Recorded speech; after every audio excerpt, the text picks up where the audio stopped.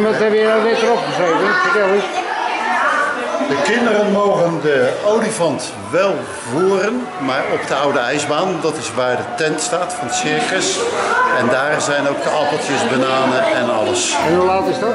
Tot vijf.